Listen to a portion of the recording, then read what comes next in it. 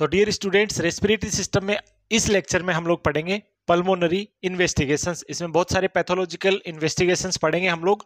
Like sputum culture test हो गया sputum examination हो गया ब्रोंकोस्कोपी हो गया एबीजी एनालिसिस टेस्टिंग हो गया एबीजी सैंपलिंग हो गया, और इसके अलावा पल्स ऑक्सीमेट्री तो इस तरीके के टेस्ट इन्वेस्टिगेशन इसमें स्टडी करने वाले हैं। तो चलिए आज का लेक्चर शुरू करते हैं डियर आज के सक्सेस मंत्र के साथ में कि समय के पास इतना समय नहीं है कि वो आपको दोबारा समय दे सके। तो कुछ महीनों को सब कुछ भुला करके केवल और केवल फोकस करिए, क्योंकि ये आपकी लाइफ को डिसाइड करेंगे, आपके फ्यूचर को डिसाइड करेंगे कि आपकी लाइफ आगे किस तरीके से रहने वाली है। तो सब कुछ भुला करके डियर अपना मेहनत में जुट जाइए, पूरा जी जान लगा दीजिए, और बाकी अच्छा और बेहतरीन क्वालिटी का कंटेंट हम आपको प्रोवाइड करते रहेंगे। यस डियर तो स्टार्ट करते हैं आज का लेक्चर तो पहला अपना पैथोलॉजिकल इन्वेस्टिगेशन है, वो है रेस्पिरेटरी सिस्टम से related sputum examination and culture study test तो क्या है मतलब? तो स्पूटम यस डियर स्पूटम जैसे सामान्य भाषा में अपन बोलते हैं बलगम। तो बलगम की जाँच करना तो ये दो तरीके से कर सकते हैं। एक तो सिंपली एग्जामिनेशन करना और दूसरा उसका कल्चर स्टडी करना। तो कल्चर स्टडी किया जाता है पैथोजेंस कौन सा है उसका पता लगाने के लिए कि जो पर्सन को रेस्पिरेटरी इन्फेक्शन है, वो कौन सा पैथोजन है, कौन सा बैक्टीरिया वायरस या फंगस है, उसका पता लगाने के लिए अपन कल्चर टेस्टिंग करते हैं और एग्जामिनेशन नॉर्मल स्पूटम के कलर कंसिस्टेंसी को देख करके अपन बताते हैं कि क्या क्या इससे रिलेटेड और यहाँ से क्वेश्चन क्या क्वेश्चन बनता है उसको अपन वन बाय वन देखेंगे। तो सबसे पहले बात करेंगे डियर स्पूटम एग्जामिनेशन है? Yes it is yes sputum examination sputum examination examination is most commonly most commonly used investigations investigation in respiratory tract infection respiratory infection में मोस्ट कॉमनली एग्जामिनेशन जो है, वो कौन सा होता है? डियर स्पूटम एग्जामिनेशन होता है और मोस्ट स्पेसिफिक पूछा जाए। Yes dear second question yes most specific test most specific test पूछा जाए। मोस्ट स्पेसिफिक या मोस्ट एक्यूरेट टेस्ट पूछा जाए dear accurate most accurate test पूछा जाए तो वो आंसर क्या दोगे dear? Sputum sputum culture test. दोनों ही क्वेश्चन डियर पूछे जा चुके हैं, याद रखिएगा। देन बात करेंगे, सैंपल क्या लेंगे? तो यहाँ पे जो स्पूटम का, बलगम का जो सैंपल लिया जाता है तो नेक्स्ट बात करते हैं अपन सैंपल। क्या सैंपल अपन लेते हैं? तो सैंपल इसमें लिया जाता है डियर, याद रखिएगा, कम से कम 15 M L sputum. Collected. Yes dear और ये कब कब प्रिफर करते हैं अपन? Prefer morning time morning time जो है मॉर्निंग स्पूटम जो है, उसको अपन प्रिफर करते हैं डियर याद रखिएगा मॉर्निंग टाइम का स्पूटम अपन कलेक्ट करते हैं स्पूटम एग्जामिनेशन या फिर कल्चर स्टडी के लिए.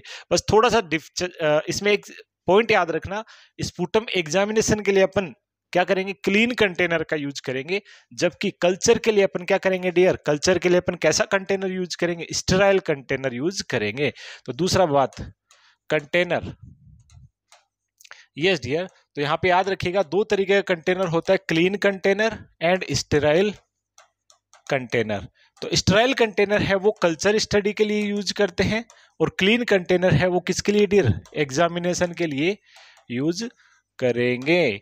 देखिए कल, कल्चर के अंदर स्ट्राइल लेने का क्या मकसद है अपना? ये मकसद है अगर स्टराइल नहीं लोगे तो उसमें कुछ पैथोजन होंगे वो ग्रो कर जाएँगे। तो पता चलेगा कि स्पूटम में तो इन्फेक्शन नहीं था बट उस कंटेनर में था जिसको अपन ने गलत मिस इंटरप्रीट कर दिया। इस वजह से यहाँ पे स्टेराइल कंटेनर लेते कितना स्पूटम कलेक्ट करते हैं डियर? पंद्रह एम कम से कम स्पूटम अपन कलेक्ट करते हैं। कौन सा मॉर्निंग टाइम का स्पूटम अपन कलेक्ट करेंगे? देन देखिएगा स्पूटम कलेक्ट करते टाइम पे नर्स को, पेशेंट को क्या बोलना है? तो यस डियर तो नर्स पेशेंट को क्या करेगी? नर्स एक्सप्लेन नर्स एक्सप्लेन करेगी। क्या एक्सप्लेन करेगी? यस, सबसे पहले पेशेंट को बोलना है, इनहेल, डीप ब्रीथ। इनहेल या टेक टेक भी लिख सकते हो, इनहेल की जगह क्या? Take deep breathe. पेशेंट को सबसे पहले बोलना है कि डीप ब्रीथ लो, फिर उसके बाद फोर्सफुली कफ करो। देन देन क्या करना है? फोर्स फुली कफ, खांसी करना है। फोर्सफुली खांसना है, जिससे जो बलगम है, स्पूटम है, वो कलेक्ट करने में आसानी रहेगी। पर्सन जब डीप इनहेल करेगा, फिर फोर्सफुली कफिंग करेगा। तो जो स्पूटम इकट्ठा हो रखा वो बाहर आएगा। तो नर्स को क्या एक्सप्लेन करना है? क्वेश्चन आता है। डायरेक्ट क्वेश्चन पॉइंटों पे बात कर रहा हूँ मैं।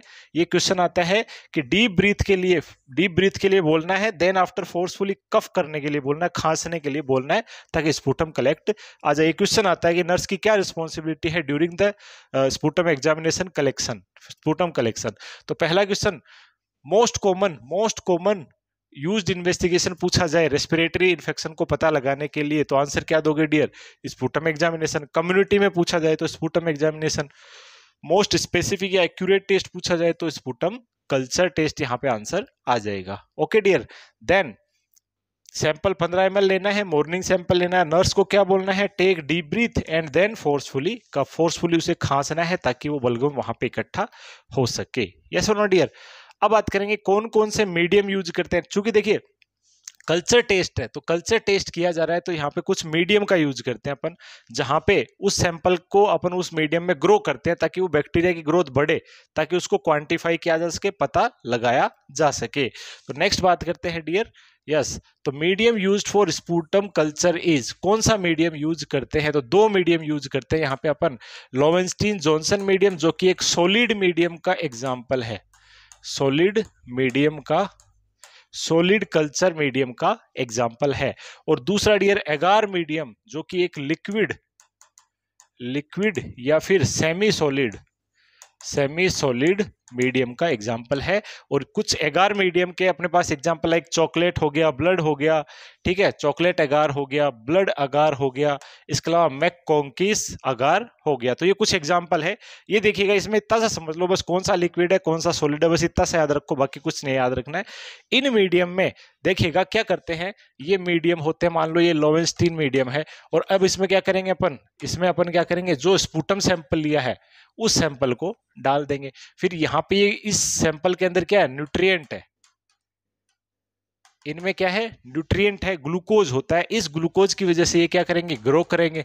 और ग्रो करेंगे तो उसको पहचानना आसान हो जाता है। फिर ये ग्रो करने के बाद में इसकी क्या करेंगे डियर ग्राम स्टेनिंग करेंगे। ग्राम स्टेनिंग करेंगे। Acid fast staining Ziehl Neelsen Ziehl Neelsen staining करेंगे, जिससे पता लग जाएगा कि बैक्टीरिया कौन सा एसिड फास्ट है या ग्राम पॉजिटिव है ग्राम नेगेटिव है। बाकी स्टेनिंग में आपको आगे पढ़ाने वाला हूँ, ठीक है डियर तो इस मेथड के द्वारा अपन पता लगा लेते हैं कि कौन सा बैक्टीरिया है कौन सा ग्राम पॉजिटिव है नेगेटिव है, वो सारी अपन तहकीकात कर लेते हैं किसके द्वारा? कल्चर मीडियम के द्वारा, ताकि वो ग्रो कर सके। बस इतना से याद रखो लोवेंस्टीन जोनसन है, वो सॉलिड मीडियम है और अगार मीडियम होते हैं, वो लिक्विड या सेमी सॉलिड होते हैं।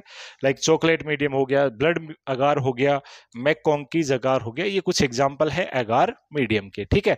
कुछ ज़्यादा विशेष इंपॉर्टेंट नहीं है, याद रही तो ठीक है, कोई बात नहीं। इंपॉर्टेंट पार्ट था, ये वाला जो मैंने आपको बताया है, ठीक है?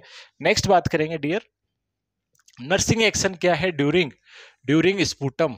Yes dear during during sputum collection. Sputum collection के टाइम पे। तो क्या है डियर यहाँ पे? नर्सिंग एक्शन है। यस इंस्ट्रक्ट सीधा ऑप्शन आता है डियर एनक्लेक्स में दिया हुआ है क्वेश्चन आपके। सीधा यही ऑप्शन दिया हुआ है। Instruct the patient instruct the patient to take deep breath deep breath लेने के लिए इंस्ट्रक्ट करना है then cough cough forcefully yes dear ये पॉइंट याद रखना है इंपॉर्टेंट है, पहले भी लिखवा दिया, अभी दोबारा से मैंने लिख दिया है। तो ये नर्सिंग रिस्पॉन्सिबिलिटी होती है एज इट इज़ लाइन आपके एनक्लेक्स के अंदर लिखी हुई है। याद रखिएगा, यहाँ से क्वेश्चन बन सकता है। चलिएगा नेक्स्ट बात करेंगे हम लोग नर्सिंग एक्शन के बाद में। Yes sputum colour examination sputum जो कलेक्ट किया है, उसके कलर के अनुसार पता लगाते हैं कि कौन सा बैक्टीरिया वायरस है। और यहाँ से क्वेश्चन कम से कम पाँच से छह बार क्वेश्चन डियर आए हुए हैं एग्ज़ाम्स के अंदर। देखते हैं स्पूटम के कलर के चार कलर के एग्ज़ाम्पल है dear yes rusty purulent colour या रस्टी ग्रीनिश कलर येलो या ब्लड स्ट्रिक रेड जिलेटिन और म्यूकोइड कलर अलग अलग कलर का क्या क्या मतलब होता है? देखिएगा रस्टी प्यूरुलेंट प्यूरुलेंट का मतलब होता है पस लाइक ठीक है? पस लाइक रस्टी मतलब होता है राख जैसा। रस्टी ग्रीनिश कलर का अगर स्पूटम आ रहा है स्पूटम का कलर ये किसका कलर है डियर स्पूटम का कलर है अगर स्पूटम का कलर ऐसा आ रहा है, इसका मतलब कौन सा इन्फेक्शन है? याद रखिएगा, अगर ये कलर आ रहा है तो उस पर्सन को ये जो सिम्टम है, स्पूटम का ये जो कलर है मोस्ट कॉमन साइन होता है किसका डियर न्यूमोनिया का। न्यूमोनिया का, या फिर न्यूमोकोकल न्यूमोकोकल इन्फेक्शन का। यस डियर न्यूमोकोकल इन्फेक्शन या न्यूमोनिया का मोस्ट कॉमन स्पूटम कलर या साइन क्या है डियर रस्टी प्यूरुलेंट या रस्टी ग्रीनिश कलर का स्पूटम आता है। तो जो बलगम आएगा, खांसी करने के बाद में, उसका कलर कैसा होगा डियर अगर रस्टी पुरुलेंट या रस्टी ग्रीनिश कलर है, राख, हल्का हरा राख जैसा कलर है तो यहाँ पे न्यूमोनिया या न्यूमोकोकल इन्फेक्शन होने का चांसेस है। ठीक है डियर तो ये श्योर तो नहीं होता है बट यहाँ पे एग्जामिनेशन से अपन एक आइडिया लगा सकते हैं एक्यूरेट टेस्ट तो कौन सा कल्चर टेस्ट ही होता है। देन आफ्टर देखिएगा येलो या ब्लड स्ट्रीक ब्लड जैसा येलो येलो इस अगर आ रहा है, याद रखिएगा, इस तरीके का अगर स्पूटम देखने को मिलता है, पीले पीले कलर का येलो टिंज्ड अगर देखने को मिलता है तो ये साइन है dear staphylococcal infection का। कौन सा डियर स्टेफाइलोकोकल इन्फेक्शन का। याद रखिएगा इंपॉर्टेंट पॉइंट है। Red gelatinous very important question dear very very important question very important काफ़ी बार ये क्वेश्चन आ चुका है। रेड जिलेटिन या फिर currant jelly sputum currant jelly sputum किसमें देखने को मिलता है? देखिएगा, एक क्वेश्चन आता है करंट जेली स्टूल जो पोटी होती है वो currant jelly, red gelatinous jelly किसमें आती है? तो वो किसमें आती है dear? Yes, intestinal obstruction, intussusception. Yes, dear, मैं पढ़ाऊँगा आपको डाइजेस्टिव सिस्टम में। इंटूसुसेप्शन यानी कि इंटेस्टाइनल ऑब्स्ट्रक्शन में रेड जिलेटिनियस स्टूल आता है। और रेड जिलेटिन जैसा यस डी रेड जिलेटिन जैसा स्पूटम जिसे करंट जेली बोलते हैं, वहाँ पे उसे करंट जेली स्टूल बोलते थे। यहाँ क्या बोल रहे हैं? करंट जेली स्पूटम बोलते हैं, याद रखिएगा। तो करंट जेली स्टूल किसका साइन है? इंटूसुसेप्शन जो कि एक प्रकार होता है इंटेस्टाइनल ऑब्स्ट्रक्शन का। और रेड जिलेटिन यानी करंट जेली स्पूटम ये किसका साइन है डियर याद रखिएगा Klebsiella Klebsiella infection का। वेरी वेरी इंपॉर्टेंट क्वेश्चन याद रखिएगा तो सी करंट कैसे करंट कैसे क्लेब सेला, इस तरीके से याद रखिएगा। क्लेब सेला में रेड जिलेटिनियस स्पूटम पाया जाता है। नेक्स्ट म्यूकोइड किसमें पाया जाएगा? म्यूकस लाइक म्यूकस मिक्स तो ये पाया जाता है dear mycoplasma mycoplasma infection में ऐसा देखने को मिलता है। यस डियर याद रखिएगा, काफ़ी इंपॉर्टेंट पॉइंट है। यहाँ से क्वेश्चन काफ़ी बार एग्ज़ाम्स के अंदर रिपीट होता है।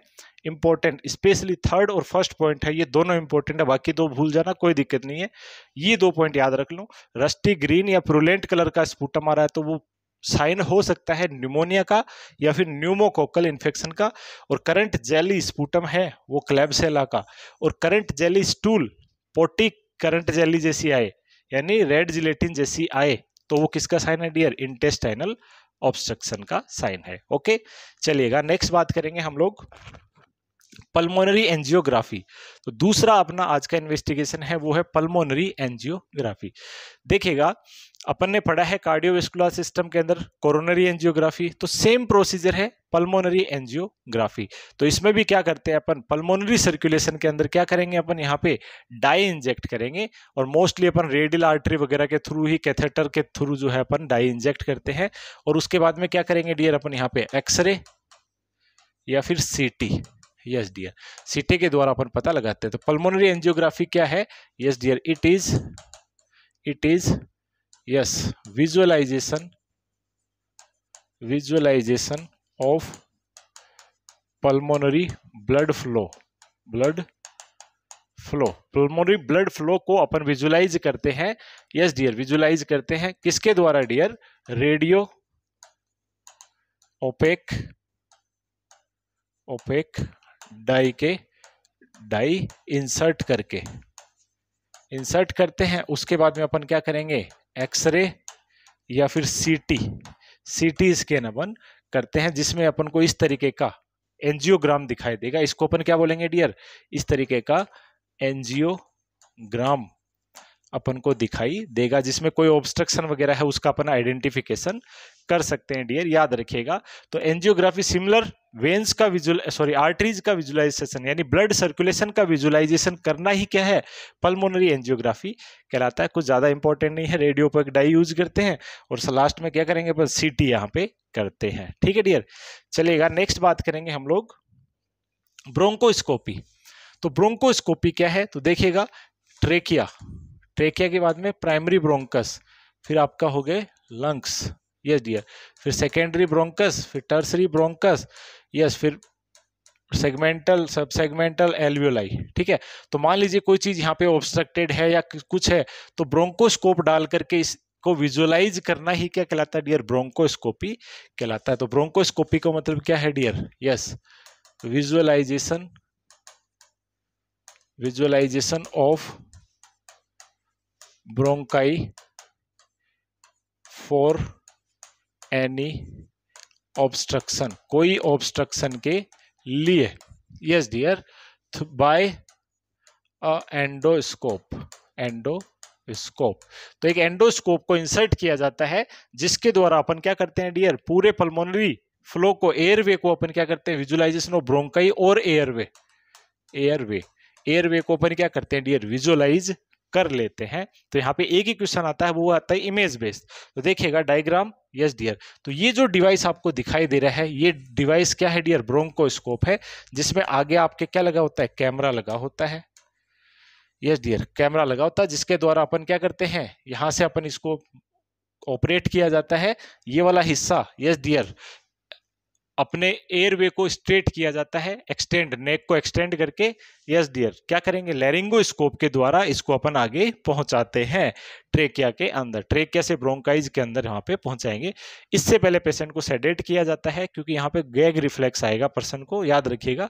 तो सेडेट करने के बाद में यस डियर तो ये ब्रोंकोस्कोप के द्वारा ओरल कैविटी के द्वारा लेरिंग्स के द्वारा ट्रेकिया में चला जाता है, फिर ब्रोंकाइज का विजुअलाइजेशन करने में हेल्प करता है। तो एक प्रोसीजर है इमेज बेस्ड क्वेश्चन है, वो याद रखे, बाकी इसमें कुछ भी इंपॉर्टेंट नहीं होता है डियर तो ये इमेज बेस्ड क्वेश्चन आ सकता है। ये डिवाइस कौन सा है डियर ब्रोंको स्कोप है।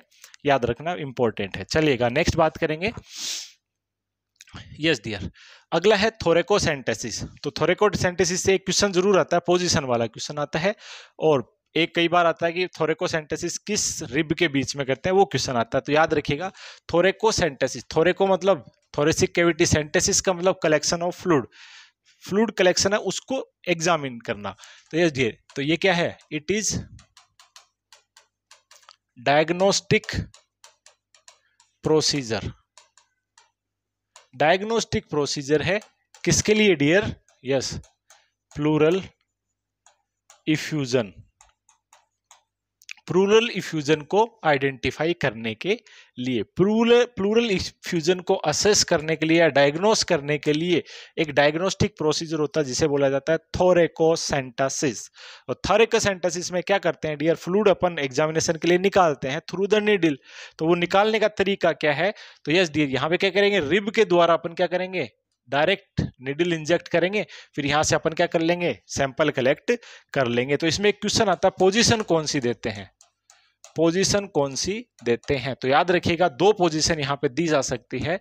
फ़र्स्ट पोजीशन है, वो देते हैं अपन yes dear sitting sitting at edge edge का मतलब किनारा। Sitting edge edge of bed and hands padded on table जैसा कि आप डायग्राम में देख रहे हैं टेबल के ऊपर हाथों को रख दिया गया है और यस डियर, बेड के किनारे पे पर्सन बैठा हुआ है। बैठने के बाद में उसका ये ये वाला एरिया एक्सपोज हो जाएगा और इस एरिया में अपन क्या करते हैं डियर निडिल के द्वारा अपन क्या करेंगे? सैंपल को कलेक्ट करेंगे।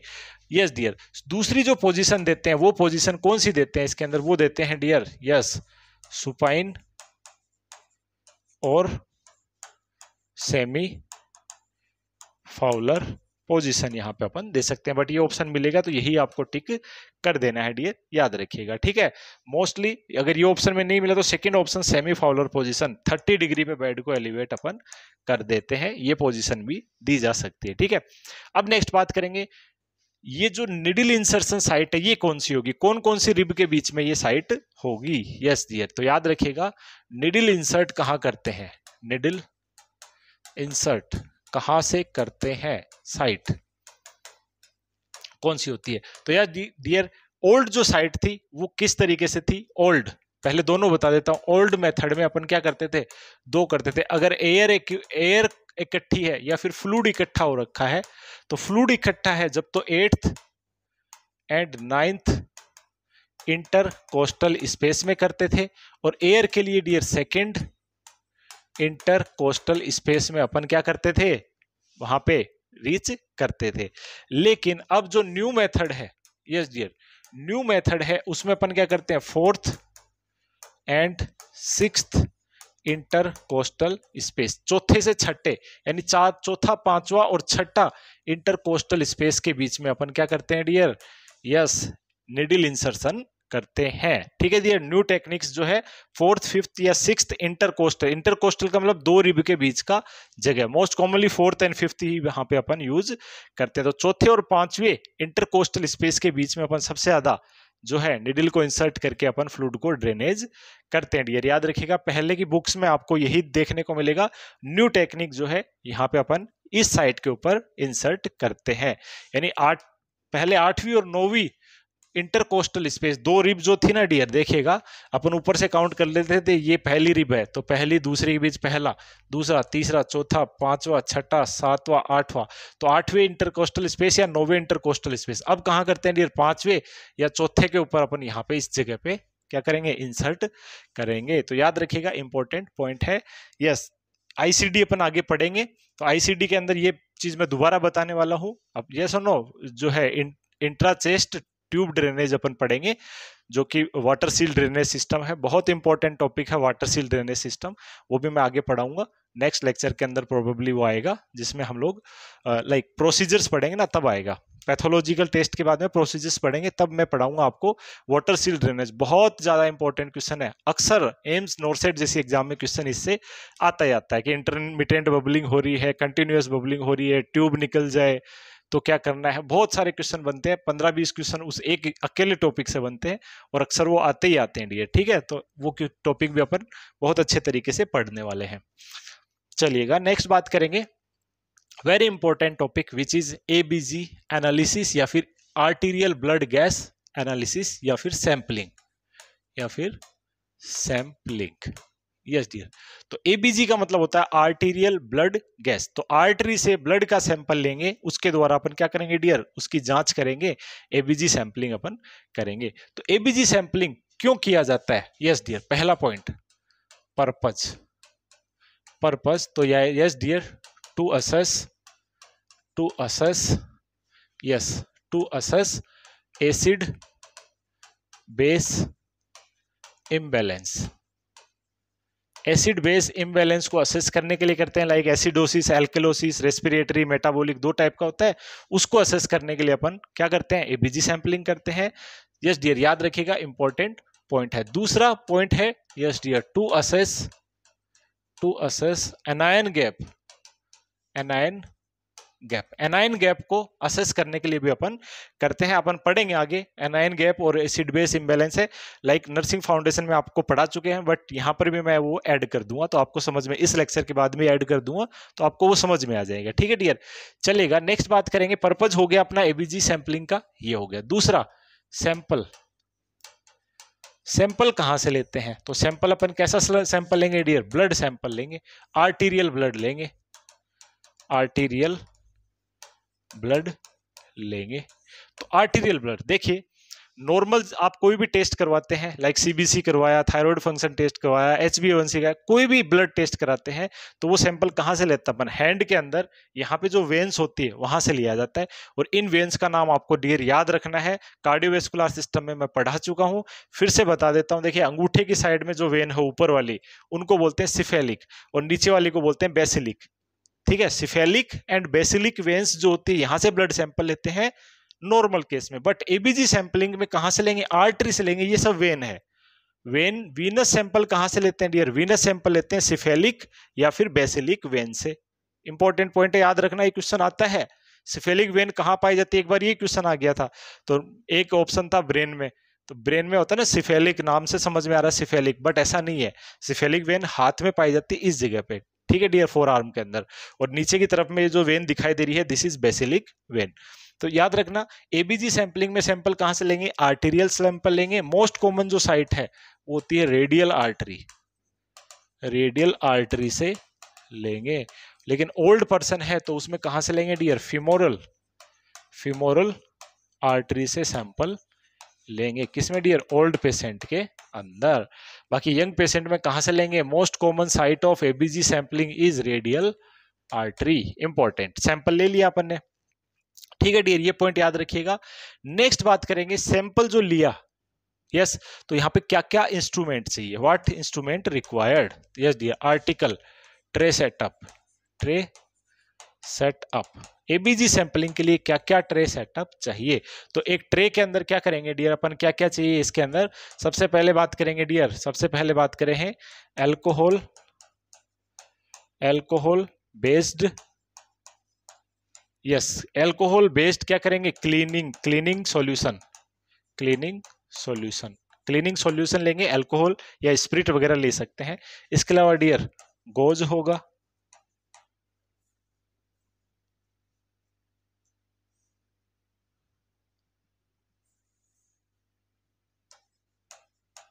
गोज पीस लेंगे। इसके अलावा डियर टू परसेंट लिग्नोकेन लेंगे, ताकि वहाँ पे सूनापन किया जा सके। इसके अलावा dear heparinised heparinised syringe heparinised syringe लेंगे dear very very important point heparinised syringe यहाँ पे अपन लेंगे। और हिपेरिनाइज सिरिंज है, या तो सिरिंज हिपेरिनाइज्ड होगी अगर वाइल ले रहे हैं तो ग्रीन टॉप वाइल होती है, या फिर ग्रीन टॉप वायल यूज़ करेंगे।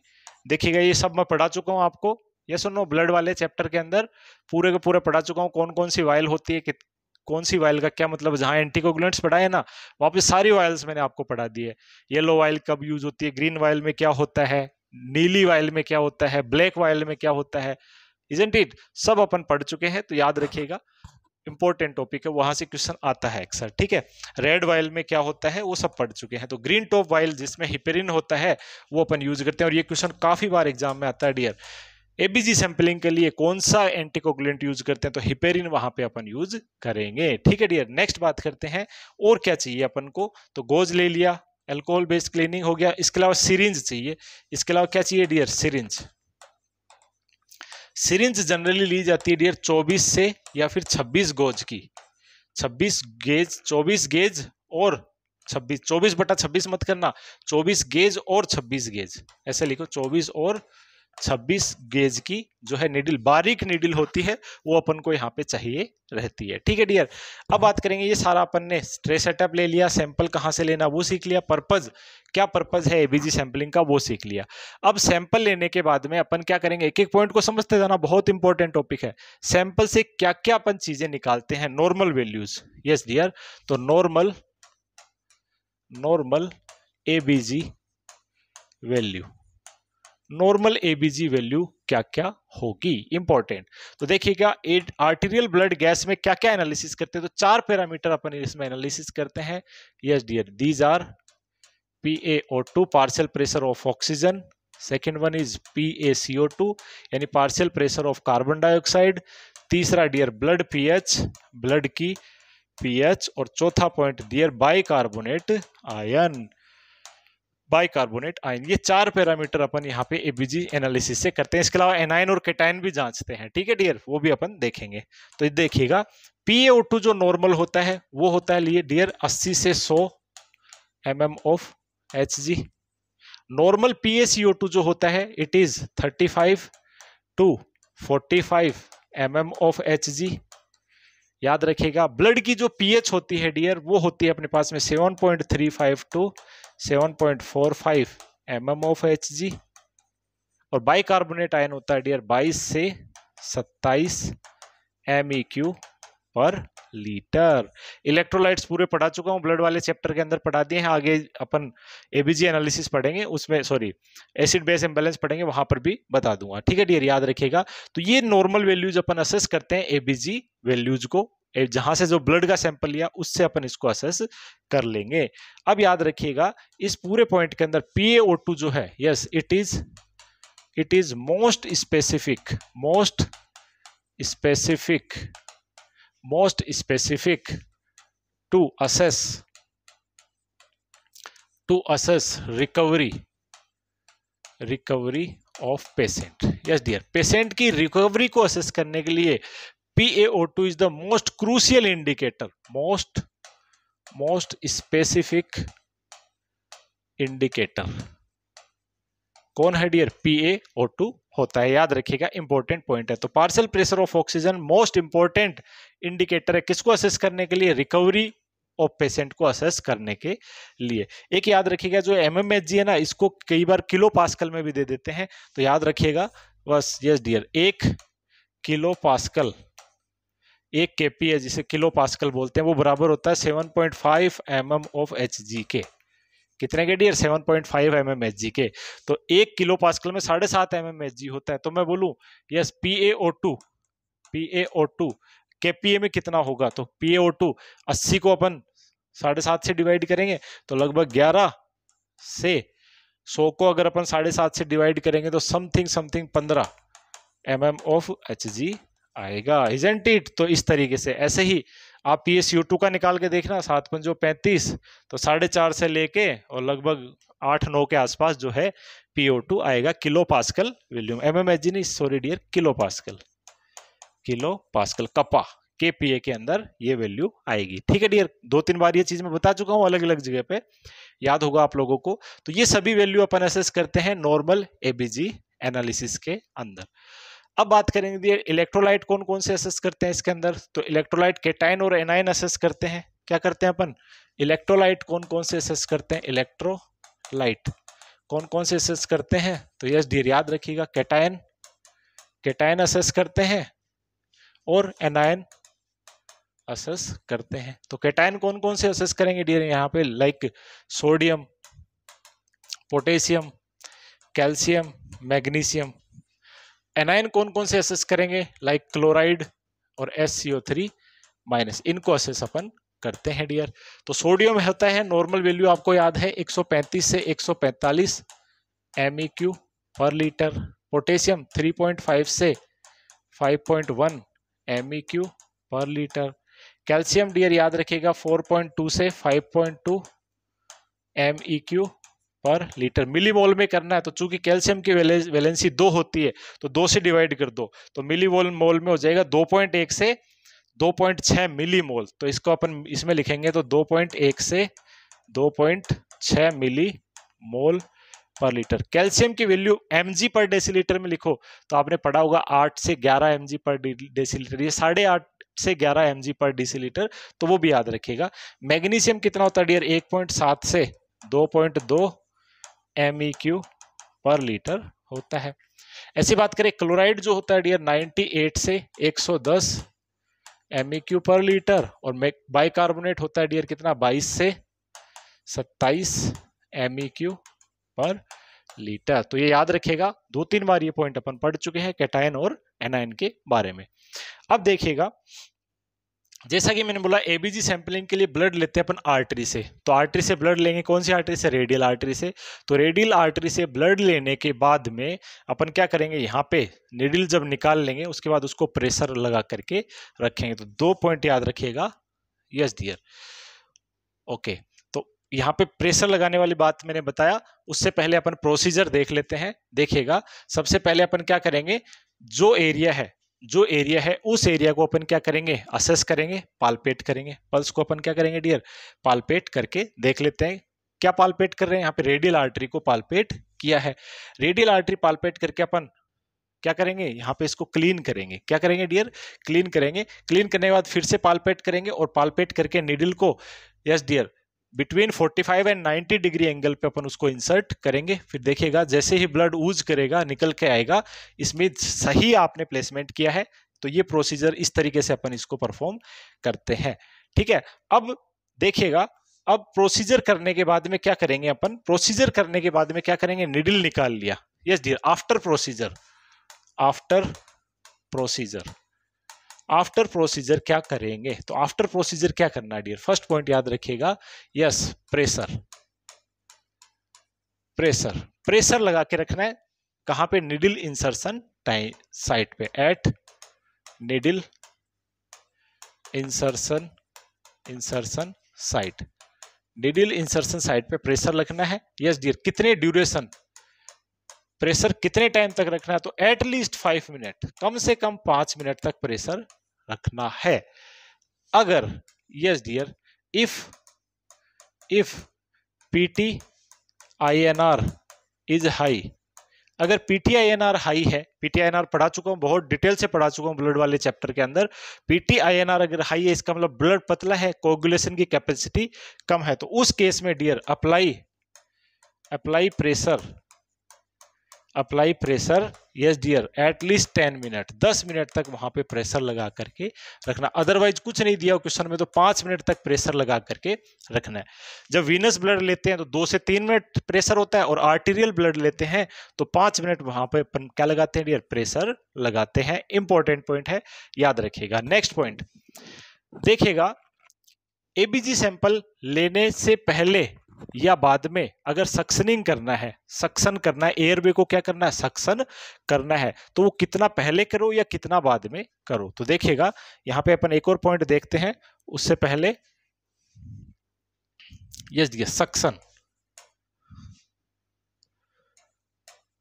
suctioning suctioning of airway suctioning of airway तो airway suctioning yes dear तो यहाँ पे एयर वे सक्सनिंग के अंदर डियर याद रखिएगा airway suctioning yes it should be done it should be done after ABG sampling ABG sampling और और 20 minute before ABG sampling very important question point देखिएगा, अगर पेशेंट को देखिएगा इंस्ट्रक्ट किया गया है डॉक्टर ने प्रिस्क्राइब किया कि उसका एयरवे सक्सनिंग करना है एयरवे को क्लीन करना है सक्सनिंग मशीन के द्वारा।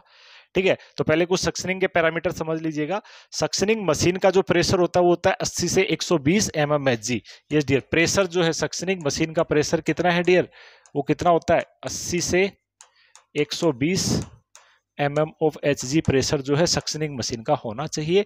एयरवे को अपन क्लीन करते हैं। एक बार में यस डियर एक बार में yes not more than not more not more than ten second in one time एक बार में सक्सनिंग 10 सेकंड से ज़्यादा नहीं करते हैं डियर याद रखिएगा। यस तो 10 सेकंड से ज़्यादा नहीं करते हैं प्रेशर 80 से 20 रखते हैं। ये दो क्वेश्चन बनते हैं सक्सनिंग से, जो कि अपने डिस्कस किए।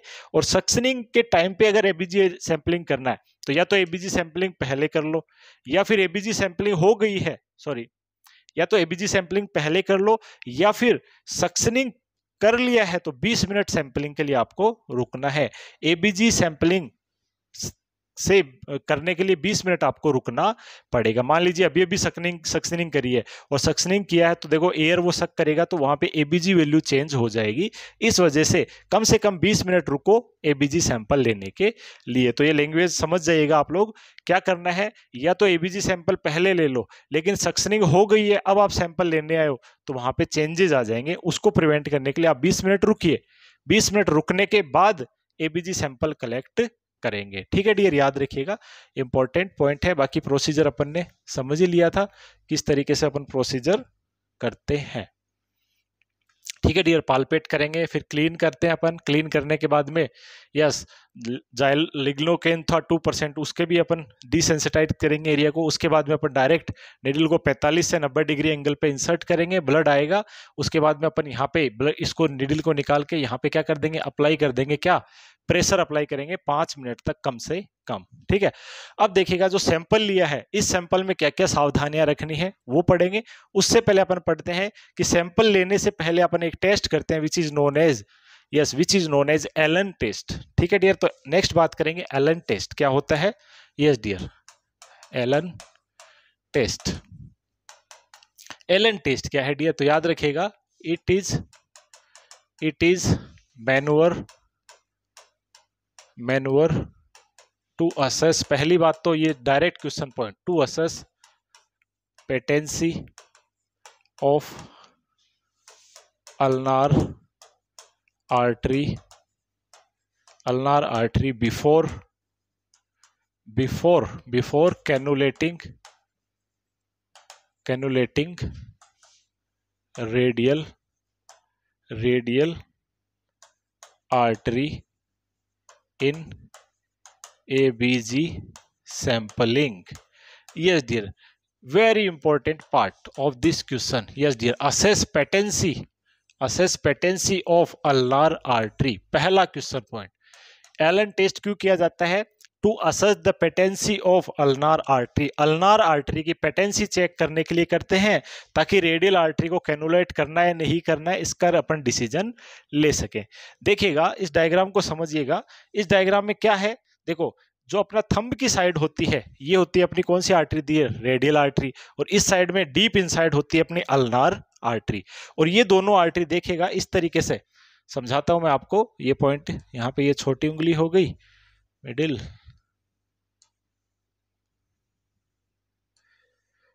यस डियर देखेगा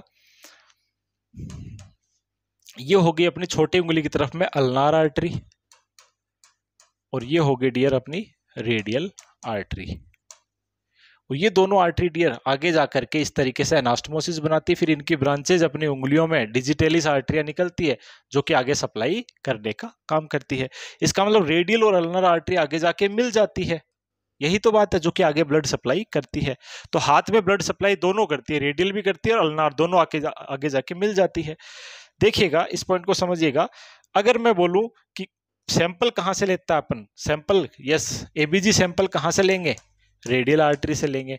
तो रेडियल आर्टरी को कैनुलेट करने से पहले देखते हैं कि अल्नर आर्टरी पेटेंट है कि नहीं प्रॉपर है कि नहीं उसके लिए अपन करते हैं एलन टेस्ट। तो इस टेस्ट को परफॉर्म करने के लिए क्या करेंगे? सबसे पहले पेशेंट को हाथ को ऊपर रखना, थर्टी सेकेंड के लिए फीस्ट को क्लोज करना है। पेशेंट के हाथ को थर्टी सेकेंड ऊपर रखा, हार्ट के लेवल से अबव रखा, थर्टी सेकेंड के लिए।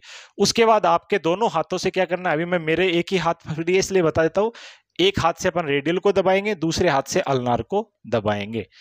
इस तरीके से अपन प्रेशर डालेंगे। डालने के बाद में क्या बोलेंगे? पेशेंट को आप बोलेंगे फीस्ट ओपन करिए। फीस्ट ओपन करेंगे तो ये व्हाइट दिखाई देगा। हाथ कैसा दिखाई देगा डियर व्हाइट इस दिखाई देगा क्योंकि ब्लड अपन ने रोक लिया है। अब उसके बाद में अपन क्या करेंगे डियर अल्नार आर्टरी को प्रेशर हटा लेंगे।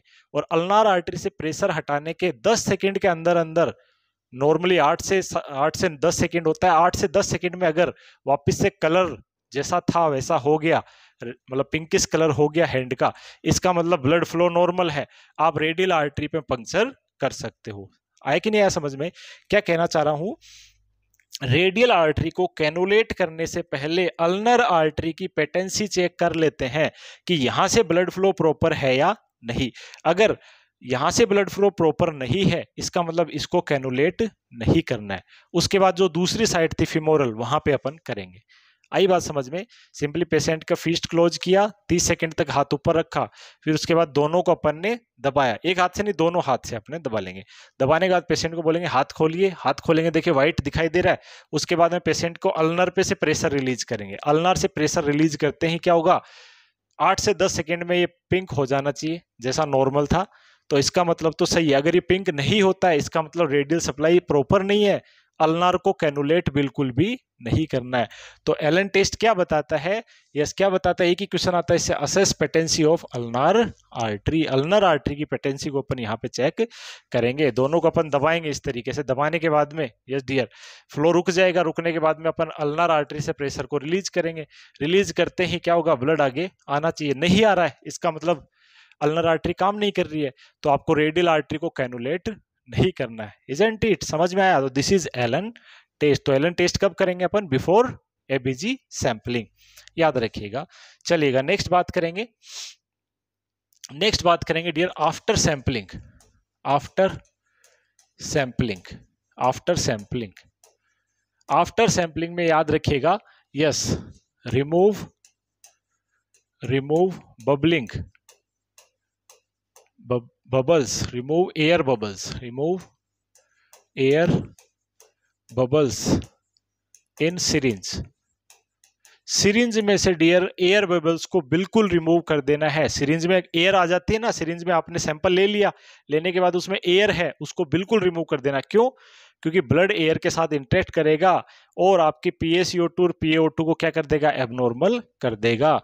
क्योंकि it can cause it air can cause sorry air can can interfere interfere ABG यानी एबीजी लिखने की जगह S P O two P A O two sorry P A O two and P A C O two value P A C O two और P A O two value को ये क्या कर सकती है? डियर एयर एबनॉर्मल कर सकती है. Second point dear second point yes do not delay do not delay sample sample को मशीन में लगाने के लिए डिले नहीं करना है। Yes dear not more than not more than 30 minute sample लेने के 30 मिनट के बाद 30 मिनट के अंदर अंदर वो सैंपल मशीन में लग जाना चाहिए। अगर नहीं लगा तो उसकी एबीजी वैल्यू क्या हो जाएगी डियर इलेक्ट्रोलाइट वैल्यू बिगड़ जाएगी चेंज हो जाएगी। तो एज सुन एज पॉसिबल से 30 मिनट के बीच में एज सुन एज पॉसिबल से 30 मिनट के बीच में उसको कम से कम मैक्सिमम टाइम है 30 मिनट तो। 30 मिनट से लेट हो गया, इसका मतलब एबीजी वैल्यू खराब हो गई। सैंपल लेने के 30 मिनट के अंदर अंदर उस सैंपल को एबीजी एनालाइजर में लगा देना है। नहीं लगाया तो आपने एबीजी वैल्यू क्या कर दी? चेंज कर दी। उसका कोई मतलब नहीं है डियर याद रखिएगा तो do not delay the sample एक बताया कि पर्सन को क्या नहीं करना है? हाइपर वेंटिलेट नहीं करना है पहले। सैंपल लेने से पहले ऑक्सीजन नहीं देना एक्सटर्नल, यानी नेक्स्ट पॉइंट याद रखना है। Yes do not do not hyperventilate patient को हाइपर वेंटिलेट नहीं करना है। Yes dear do not do not suctioning suctioning नहीं करना है। Before before ABG sampling. ABG sampling से पहले सक्सनिंग नहीं करना। करना तो 20 मिनट पहले कर लो या 20 मिनट कर ली है तो 20 मिनट तक रुको अब एबीजी सैंपलिंग के लिए, ठीक है? याद रखिएगा। तो ये सारे पॉइंट क्या कर सकते हैं? आपकी एबीजी वैल्यू को इंटरफेयर कर सकते हैं। एबीजी वैल्यू यानी ऑक्सीजन और सीओ का लेवल बिगाड़ सकते हैं। इस वजह से ये पॉइंट अपन को याद रखने ही रखने हैं। ठीक है डियर अब बात करेंगे डियर नेक्स्ट बारब्यू टेस्ट ठीक है डियर नेक्स्ट आता है बारब्यू टेस्ट। ये टेस्ट क्या है? समझिएगा। समझाता हूँ इस पॉइंट को।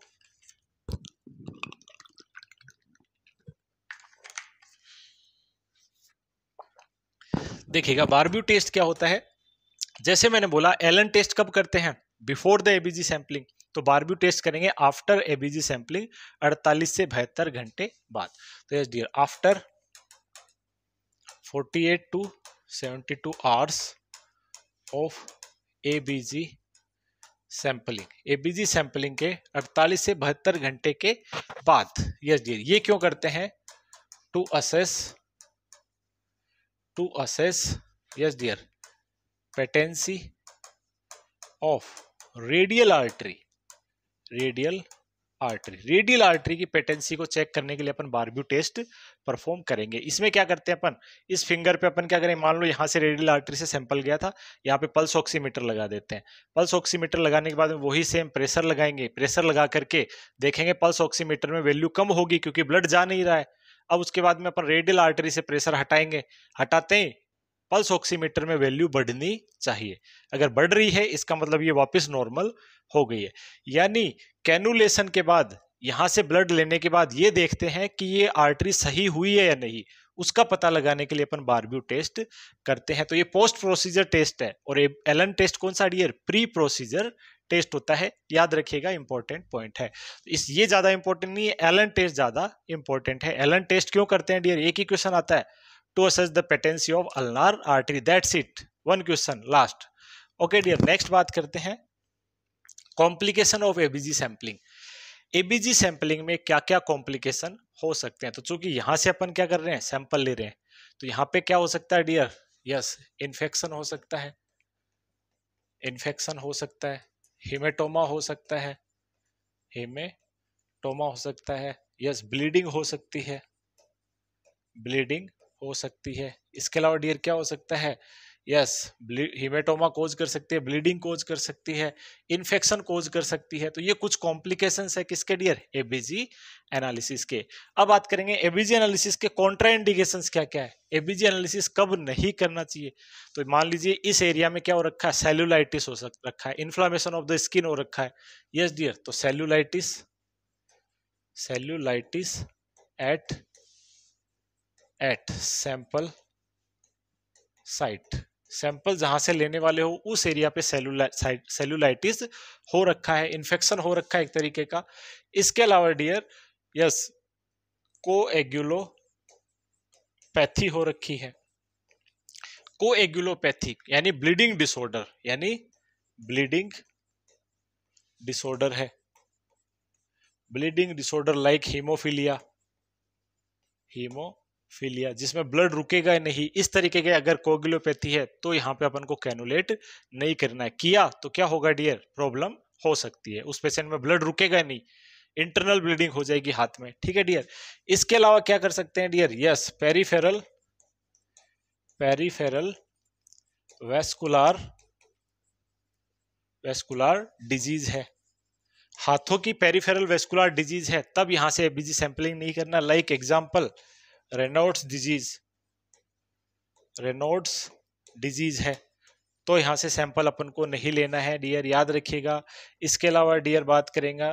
T A O TAO TAO मतलब थ्रोम्बो एंजाइटिस ऑब्लिटरेंस यानी बर्गर डिज़ीज़ बर्गर्स डिज़ीज़ ये दोनों डिज़ीज़ अपन कार्डियोवेस्कुलर सिस्टम में पढ़ चुके हैं डियर याद है आप लोगों को? रेनोड डिज़ीज़ जो था, उसमें क्या हो रहा था? पेरीफेरल वेजोस्पाज्म हो रहा था। ठीक है? क्यों हो रहा था? बिकॉज़ ऑफ़ कोल्ड स्टिमुलेशन ठीक है? और टाओ यानी बर्गर डिज़ीज़ क्या जो स्मोकिंग करते हैं, उन लोगों के अंदर हाथों की और पैरों की जो नसें हैं, उनमें एंजाइटिस हो जाता है इन्फ्लामेशन ऑफ़ आर्टरीज हो जाता है। That is thrombo angiitis obliterans जिसकी वजह से आर्टरी ओब्लिटरेट हो जाती है ब्लॉक हो जाती है। इजेंट इट याद रखिएगा, ये पढ़ चुके हैं अपन। तो इस तरीके की डिज़ीज़ में भी अपन एबीजी सैंपलिंग हाथों से नहीं लेते हैं। कहाँ से लेंगे? फिमोरल आर्टरी से। तो इन सभी केसेज में अपन सैंपल कहाँ से लेंगे डियर फिमोरल आर्टरी से लेंगे, ना कि यहाँ से। और याद रखना फिमोरल आर्टरी में कोई एलन वेलन टेस्ट नहीं करते हैं। एलन टेस्ट केवल और केवल अगर रेडियल आर्टरी से ले रहे हो तो ही करते हैं। अदरवाइज़ अपन फिमोरल आर्टरी में कोई एलन टेस्ट अपन परफॉर्म नहीं करेंगे। ठीक है जी? चलिएगा नेक्स्ट बात करेंगे। यस डियर पल्स ऑक्सीमीटर तो पल्स ऑक्सीमीटर क्या है डियर तो एक ऐसा डिवाइस होता है, आपने काफ़ी देखा है। कोविड के जमाने में भी आप लोगों ने खूब देखा होगा ये डिवाइस पल्स ऑक्सीमीटर जो कि क्या बताता है? ऑक्सीजन सेचुरेशन इन ब्लड को बताता है। तो pulse oximeter yes dear it is also called as इसका एक और नाम है डियर इसे अपन क्या कहते हैं? फ़ोटो प्लेथिज्मो प्लेथिज्मोग्राफी क्या बोलते हैं? डियर इसे फ़ोटो प्लेटिथ प्लेटिस्मो प्लेटिस्मोग्राफी के नाम से इसे जाना जाता है। इसके अंदर क्या होता है? एक डिवाइस होता है। इस डिवाइस में एक तरफ़ से तो अपन क्या होता है? डियर लाइट एमिट होती है। यस डी लाइट एमिट होती है। और नीचे क्या होता है? डियर रिसीवर होता है डिटेक्टर होता है। और बीच में अपनी उंगली रहेगी तो उंगली से कितनी लाइट नीचे इस पे इस पे रिसीवर पे आती है, उसके अनुसार ये बता देती है कि कितना परसेंट ऑक्सीजन सेचुरेशन होता है। तो नॉर्मल सी फिजियोलॉजी है। यस डियर यूज़ क्या है ये इसका? Yes to assess to assess oxygen saturation saturation of blood blood की ऑक्सीजन सेचुरेशन को बताने के लिए अपन पल्स ऑक्सीमीटर का यूज़ करते हैं और ऑक्सीजन सेचुरेशन को अपन या तो टू बोलते हैं या फिर टू बोलते हैं। कई जगह कई बुक्स में टू लिखा है, मोस्टली टू लिखा होता है। तो टू देखिए टू का मतलब पार्सल प्रेशर ऑफ़ ऑक्सीजन जो कि 80 से 100 होता है।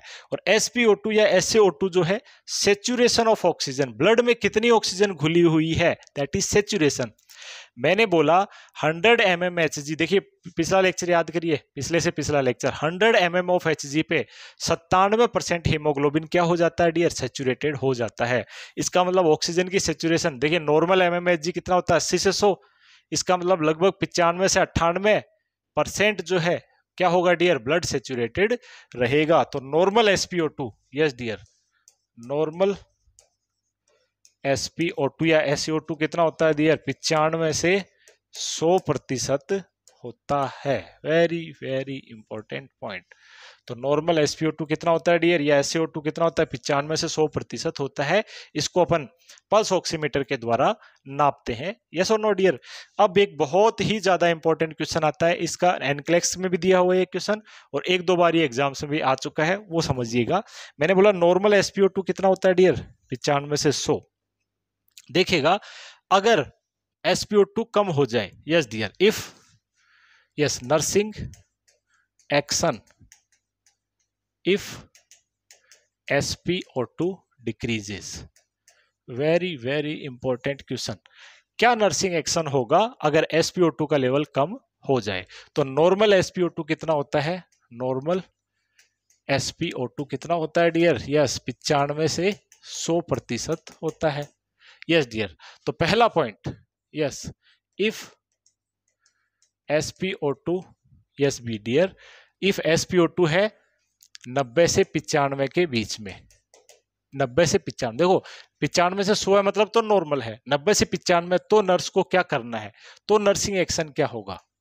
Nursing action first nursing action पहला नर्सिंग एक्शन क्या होगा? दूसरा पॉइंट इफ़ एसपीओ टू अस्सी से नब्बे परसेंट है। तो नर्सिंग एक्शन क्या होगा? और तीसरा point if S P O two if S P O two less than 80 है 80 से कम है तो नर्सिंग रिस्पॉन्सिबिलिटी क्या होगी डियर तो देखिएगा, अगर देखिए थोड़ा सा कम हुआ नॉर्मल था पिचानवे सौ, थोड़ा सा कम हुआ, नब्बे से पिचानवे हो गया तो घबराना नहीं है कंटिन्यू मॉनिटर करते रहना। फ़र्स्ट एक्शन क्या होगा dear continue continue monitor monitoring जारी रखी जाए। दूसरा पॉइंट और कम हो गया 80 से 90 ही आ गया अब 80 से 90 के बीच में, बयासी, पिचासी इस तरीके से आ गया। तो अब नर्स को क्या करना है? तो अब याद रखिएगा, अब नर्स को मॉनिटर करने से काम नहीं चलेगा। नर्स को क्या करना है? इन्फॉर्म करना फिजिशियन को। Inform inform physician. फिजिशियन को क्या करना है, डियर? इन्फॉर्म करना है। फिजिशियन को बताओ कि पेशेंट का एसपीओ टू इतना आ गया है, अस्सी से नब्बे के बीच में आ गया है। तो फिजिशियन को इन्फॉर्म कर दो। तीसरा, अस्सी से भी कम आ गया। अस्सी से भी कम आ गया, उस केस में अस्सी से कम कितना भी आ जाए, चालीस, तीस, कुछ भी आ जाए, अस्सी से कम, पिचहत्तर भी आ जाए, उस केस में क्या करना है dear immediately immediately start oxygen oxygen start करना है देन देन इन्फॉर्म फिजिशियन देखिएगा, यहाँ ऐसा क्यों किया? देखो 80 से कम आ गया मतलब कंडीशन लाइफ थ्रेटनिंग है मतलब परसेंट की जान जा सकती है। वैसे 70 से नीचे को लाइफ थ्रेटनिंग बोलते हैं। अगर एसपीओ टू सत्तर से नीचे है तो उसे अपन जानलेवा कहते हैं लाइफ थ्रेटनिंग कंडीशन कहते लिख लीजिएगा इफ़ एसपीओ टू बिलो सत्तर तो वो क्या है डियर जानलेवा है लाइफ थ्रेटनिंग है। उसमें भी यही करना है, ठीक है? वहाँ चेंज नहीं हो जाएगा। 80 से कम कुछ भी हो 70 से कम 60 से कम 50 से कम, कुछ भी हो आंसर यही रहेगा। तो देखिएगा 90 से पिचानवे में कंटिन्यू मॉनिटर करते रहो 80 से 90 के बीच में कहीं पे है तो आपको क्या करना है? फिजिशियन को इन्फॉर्म कर दो। करना आपको कुछ नहीं ऑक्सीजन स्टार्ट नहीं करने फिजिशियन को इन्फॉर्म कर दो कि डॉक्टर ऐसा ऐसा हो गया है। ठीक है? लेकिन अगर 80 से भी कम आ जाता है एसपीओ टू तब अब क्या करना है? पेशेंट की जान बचानी है, इसलिए पहले ऑक्सीजन स्टार्ट करना है देन आफ्टर फिजिशियन को इन्फॉर्म करना डियर तो first immediately start oxygen then inform the physician. Very very important question. याद रखिएगा यहाँ से क्वेश्चन दो तीन बार अलग अलग एग्ज़ाम में आ चुका है। नोर सेट में आपका ये पॉइंट आपका एज इट इज़ दिया हो सॉरी ये जो पॉइंट है आपका एनक्लेक्स के अंदर जो है एज इट इज़ दिया हुआ है। याद रखिएगा। चलिएगा नेक्स्ट बात करेंगे। यस yes, तो ये पॉइंट है जो कि अपने डिस्कस करे हैं आज के लेक्चर के अंदर। अब कुछ एमसीक्यूज जो सीखते हैं देखते हैं किस तरीके के एमसीक्यूज एग्ज़ाम के अंदर आते हैं। फ़र्स्ट क्वेश्चन यस पढ़िएगा आप लोग। Which ABG value is most specific या most accurate marker of recovery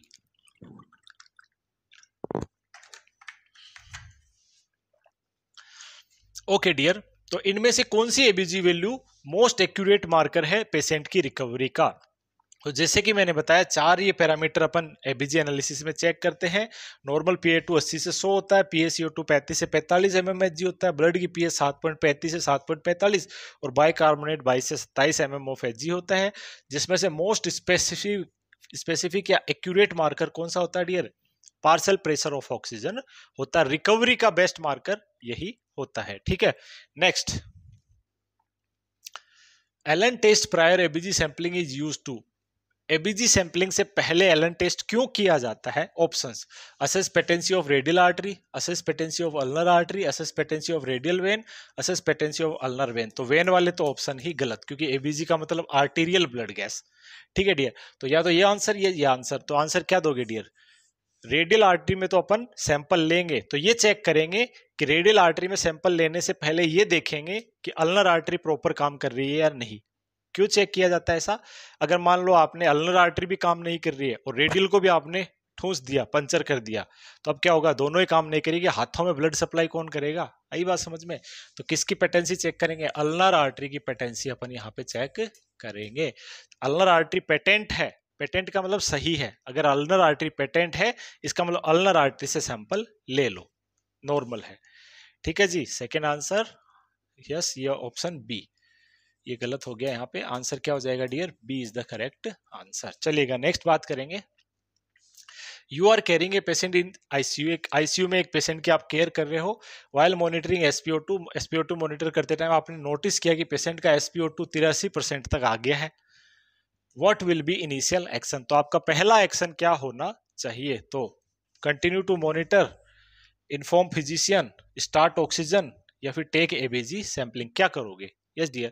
तो जैसा कि मैंने बताया, यस डियर, नब्बे से पिचानवे है तो आपका आंसर क्या होता? Continue to monitor the patient yes dear, अस्सी से अस्सी से नब्बे के बीच में है तो आपका आंसर क्या होगा डियर? इन्फॉर्म द फिजिशियन तो इसका राइट right आंसर तो क्या हो जाएगा? यही, क्योंकि तिरासी परसेंट इसी के बीच में आ जाएगा। लेस देन सेवेंटी है तो आंसर क्या हो जाएगा? यही आता है। ठीक है डियर बट अभी इस क्वेश्चन में आंसर क्या हो जाएगा? इन्फॉर्म द फिजिशियन अगर यहाँ मान लो यहाँ दिया होता सेवेंटी एट परसेंट या 75 परसेंट तो आंसर क्या देते सी आंसर। तो रिस्पॉन्स अकॉर्डिंगली बदल जाता है, आंसर अकॉर्डिंगली बदल जाता है। ठीक है, डियर? चलिएगा, नेक्स्ट बात करेंगे। Which of which of the following is not a contraindication for arterial puncture during ABG sampling ABG sampling के द्वारा एबीजी सैंपल नहीं लेने का कॉन्ट्रा इंडिकेशन कौन सा नहीं है? तो देखिए कॉन्ट्राइंडिकेशन तीन बताए थे मैंने, अगर किसी को कोगुलोपैथी है या किसी को सेलुलाइटिस है या फिर पेरिफेरल वेस्कुलर डिज़ीज़ है तो अपन ये नहीं करते हैं। ठीक है डियर तो कौन सा नहीं है? वो पूछा तो सेलुलाइटिस ये तो है सीवियर पेरिफेरल वेस्कुलर डिज़ीज़ ये भी है कोगुलोपैथी ये भी है एक्यूट रेस्पिरेटरी डिस्ट्रेस सिंड्रोम ये नहीं है। इसमें तो उल्टा करते हैं अपन, इसमें तो एबीजी सैंपलिंग करते हैं। यस डियर तो ये ही नहीं है। कॉन्ट्रा इंडिकेटेड ये तीनों कॉन्ट्रा इंडिकेटेड है। लेकिन क्वेश्चन में पूछा नोट तो राइट आंसर क्या हो जाएगा? ये थोड़ा सा ट्रिकी क्वेश्चन है, समझिएगा इसको। चलेगा नेक्स्ट बात करते हैं। Which of the following factor can lead to falsely changes PaO2 and PaCO2 level in ABG analysis इनमें से कौन सा फैक्टर PaO2 या PaCO2 के लेवल को चेंज कर देगा? देखिएगा डिलेड एनालिसिस करता है, भाई, ये भी चेंज करता है, सही है ये भी। Air bubble in the series ये भी करता है। Hyperventilate during the sample ये भी करेगा। पेशेंट को पहले ही आपने ऑक्सीजन दे दी ऑक्सीजन थेरेपी दे दी तो ये भी चेंज करेगा कि नहीं? हाइपोथर्मिया ये मोस्टली नहीं करेगा। लेकिन क्वेश्चन में तो पूछा कि कौन सा फैक्टर करता है? नोट नहीं पूछा। तो तीन आंसर सही हो गए तो अब आप क्या करोगे? यस डियर अब क्या करेंगे? तो तीन आंसर में सबसे मोस्ट एक्यूरेट जो आंसर है, वो क्या है डियर एयर बबल वाला आंसर है। Yes very important air bubble बिल्कुल भी नहीं होना चाहिए। अगर एयर छोड़ दिया तो आपने एक मिनट भी सैंपल रख दिया ना तो एबीजी वैल्यू बिल्कुल चेंज लेकिन यहाँ पे आप 10 मिनट 15 मिनट रुक सकते हो। आधे घंटे तक सैंपल को आप रख सकते हो। बट आधे घंटे के बाद यहाँ पर भी नहीं रुकना। बट ये है ज़रूरी। डिलेड सैंपलिंग डिलेड जो है एनालिसिस नहीं होना चाहिए। विद इन थर्टी मिनट होना चाहिए। लेकिन आप थोड़ा तो रुक सकते हो ना, आधा घंटा तो रुक सकते हो। लेकिन ये तो बिल्कुल भी बर्दाश्त नहीं एक मिनट भी रुक गए तो सैंपल खराब हो जाएगा। यस और नो डियर तो ये बिल्कुल भी नहीं होना चाहिए। तीनों ऑप्शन आ गए तो इसको मोस्ट प्रायोरिटी देनी है। ठीक है? समझिएगा। अब देखेगा सेम क्वेश्चन बट आंसर बदल जाएगा। ये देखिएगा, इसका आंसर तो बी हो गया। अब ये सेम क्वेश्चन है। सेम क्वेश्चन में आंसर हो गया ऑल ऑफ़ द अबव तो अब आंसर क्या हो जाएगा डियर यही होगा। तो देखिए डिले इसमें भी बदलता है, इसमें भी बदलता है। तो देखो क्वेश्चन बदला, ऑप्शन बदले, आंसर बदल गया। तो ऑल ऑफ़ द अबव था तो ये आंसर हुआ और ऑल ऑफ़ द अबव नहीं था तो ये तीनों सही थे, लेकिन मोस्ट एक्यूरेट कौन सा है? ये आंसर आपको देना है। तो अकॉर्डिंग आंसर देंगे अपन। अकॉर्डिंग टू क्वेश्चन अपना आंसर चेंज हो जाता है डियर इसलिए क्वेश्चन प्रैक्टिस बहुत ज़्यादा ज़रूरी होती है। चलिएगा, बात करेंगे नेक्स्ट क्वेश्चन का। What is the primary nursing responsibility before performing an abg sampling procedure ABG sampling लेने से पहले priority priority primary nursing responsibility क्या है? पहला कन्फर्मिंग द पेशेंट आइडेंटिफिकेशन ये भी सही बात है। ये भी नर्सिंग रिस्पॉन्सिबिलिटी की पेशेंट को कन्फर्म करो, किसी पेशेंट का लेना है क्या? एक्सप्लेनिंग द प्रोसीजर ये भी बात सही है। Gathering the necessary equipment equipment भी इकट्ठे करने, ये भी बात सही है, जैसा कि मैंने बताया tray setup, assessing the patient vital, ये भी सही, चारों पॉइंट सही है, बट क्वेश्चन क्या पूछा, डियर? प्राइमरी, इन चारों में प्राइमरी कौन है? तो इन चारों में प्राइमरी है, पेशेंट को प्रोसीजर एक्सप्लेन करो। यस, डियर, उसके बाद ही सेम करना है, लेकिन जनरली हॉस्पिटल्स में ऐसा करते नहीं है। पेशेंट को कुछ नहीं बताते हैं बेचारे को कि क्या करना है। पेशेंट को एक्सप्लेन करना, जबकि प्राइमरी रिस्पॉन्सिबिलिटी है अकॉर्डिंग टू एनक्लेक्स ठीक है? According to nursing ethics patient को एक्सप्लेन करना सबसे ज़्यादा ज़रूरी होता है इन सभी बातों के अंदर। पेशेंट को कंफर्म करना भी ज़रूरी है, लेकिन पहले ये काम करो, उसके बाद में कंफर्म कर लीजिए। समझ में आया? तो ये प्राइमरी पार्ट हो गया, ठीक है? नेक्स्ट बात करेंगे। Which of the following action should the nurse take immediately after obtaining an ABG sampling ABG sample लेने के बाद में इमीडिएटली आफ्टर में क्या करना चाहिए? Labeling the sample with patient identification sample के ऊपर पेशेंट का नाम लिख दो। करना सीधी सी बात है। Applying pressure to the puncture site yes the right answer यही हो जाएगा। पंक्चर साइट पे प्रेशर अप्लाई करना है, नहीं तो वहाँ पे ब्लीडिंग हो जाएगी। Sending the sample to the laboratory ये भी करना है। डॉक्यूमेंटिंग द प्रोसीजर ये भी करना सारो आंसर सही है। सारे के सारे आंसर आपके सही है। गलत कोई भी नहीं है और नोट सेट में कई बार ऐसे क्वेश्चन आते हैं, चारों ऑप्शन सही है बट मोर एक्यूरेट कौन सा भैया? तो सबसे इंपॉर्टेंट जो पॉइंट है इसमें नर्स को क्या करना है? इमीडिएटली आफ्टर क्या करना है? अप्लाई प्रेशर इमीडिएटली आफ्टर तो प्रेशर ही अप्लाई करेगी ना? लेबल वेबल तो बाद में भी लिख सकते हैं उसके ऊपर, नाम वगैरह तो। अगर प्रेशर अप्लाई नहीं किया तो ब्लीडिंग हो जाएगी जब तक आपने नाम लिखा, जब तक डॉक्यूमेंट किया। समझ? आया सैंपल भेजा, तब तक यहाँ पे ब्लीडिंग हो जाएगी। तो इमीडिएटली आफ्टर सुई निकालने के तुरंत बाद यहाँ पे प्रेशर लगाओ, ये अपना इमीडिएट एक्शन होगा। और वैसे भी समझने लायक बात है कि निडल निकालने के बाद तुरंत बाद प्रेशर अप्लाई करना ही फ़र्स्ट एक्शन होगा। ठीक है डियर चलिएगा नेक्स्ट बात करेंगे। During ABG sampling what technique should the nurse use to ensure accurate result accurate result के लिए नर्स को क्या करना है? देखिएगा। Rapidly aspirate blood into the syringe needle insert करने के बाद जल्दी से ब्लड खींच लो। नहीं, जल्दी से नहीं करना भैया। जल्दी करोगे तो वहाँ पे इंजरी होने के चांसेस है। Avoiding air bubbles in the syringe air bubbles को अवॉइड करना रेस राइट आंसर यही होगा। एयर बबल अगर वहाँ पे रह गए तो एयर बबल सिरिंज से आ भी गए तो उसको निकाल दो। निकालते हैं ना अपन, कई बार इंजेक्शन लगाते हैं आईएम या आईवी लगाते हैं तो एयर को निकालते हैं ना अपन इंजेक्शन से। उसी तरीके से सैंपल में से भी एयर को निकाल लेना है। Holding pressure on the puncture site for five minute, ये बात तो सही है, लेकिन एक्यूरेट रिज़ल्ट के लिए इसका कोई महत्व नहीं है। यहाँ पे क्वेश्चन क्या पूछा है? एक्यूरेट रिज़ल्ट के लिए क्या करोगे? ये बात सही है, प्रेशर रखन रखना है पाँच मिनट तक, लेकिन क्या अगर नहीं रखोगे तो रिज़ल्ट थोड़ी बिगड़ेगा। रिज़ल्ट तो किससे बिगड़ेगा? अगर आपने बबल छोड़ दिए तो रिज़ल्ट बिगड़ेगा।